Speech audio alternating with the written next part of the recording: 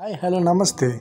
మొన్న మేము వైజాగ్ వెళ్ళాము. వైజాగ్లో రెండు యాక్టివా బండ్లు దాంట్లో తీసుకుని మొత్తం అన్నీ కూడా తిరిగామండి Rushikonda beach submarine fishing harbour కూడా వెళ్ళామండి. ఫిషింగ్ హార్బర్లో షిప్లు ఉంటున్నాయి కదండి చిన్న చిన్న షిప్ ఎక్కి లోపలికంటే వెళ్ళామండి.